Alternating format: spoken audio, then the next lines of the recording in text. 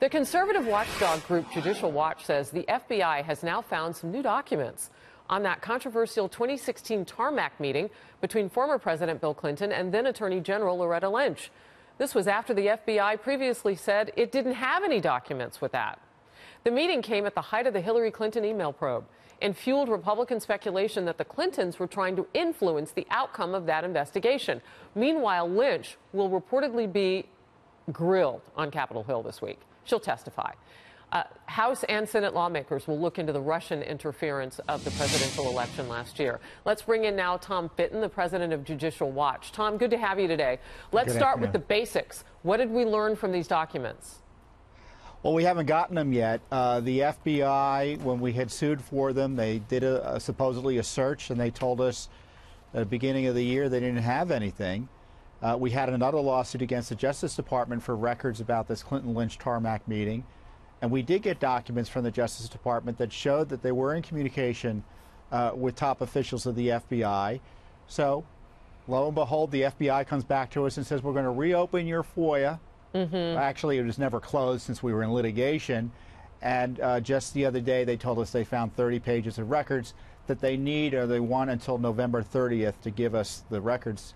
And we don't know what's going to be in the records, whether they're going to be all blacked out uh, but if I were the president, I'd be asking both the leadership of the FBI and Justice Department hmm. what is going on here, what's with the stalling, and what's with the obstruction, because there may be an innocent explanation as to why these records were missing.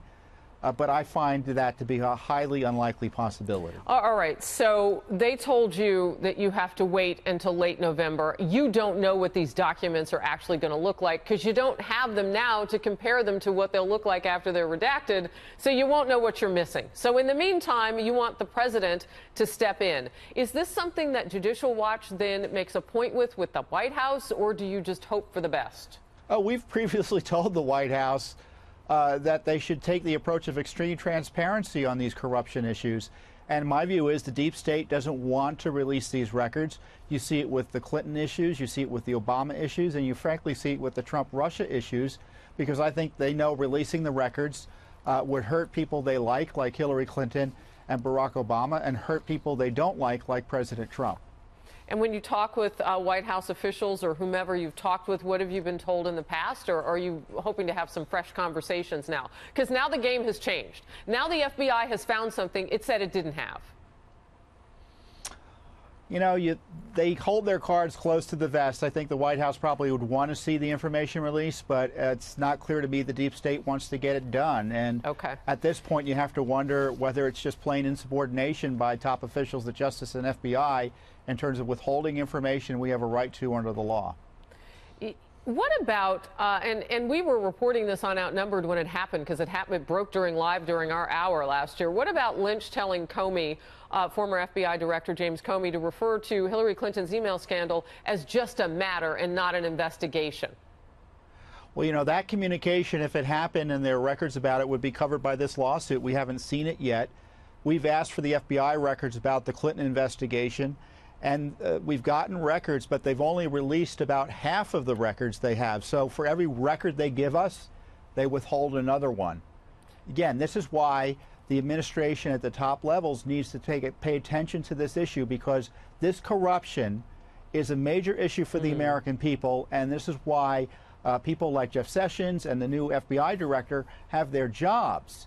Is because people wanted uh, the swamp to be drained, and when you get this obstruction Harris, this is the sort of thing that drives people crazy because they know the records can be released. We're not asking for state secrets. We want to know what the government was up to on this corruption issue. Yeah, that, that's really interesting to hear you put it in that way because they certainly have not labeled it this way, the FBI or anybody else.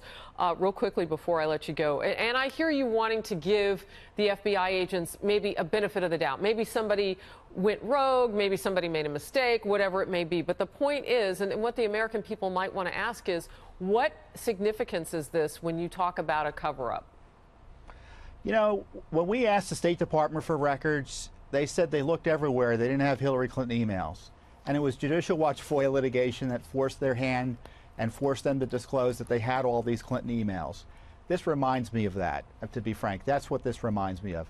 The FBI only gave us, uh, coughed up these records, or will cough up some of these records in the least, I hope, only because we caught them red-handed in, other, uh, in another FOIA lawsuit. It's really troubling. Uh, Tom Fitton the Judicial Watch, we'll check back with you as we get closer to that deadline when the FBI says they're going to hand you some of those documents. Thank you very much for joining us, Tom. You're welcome.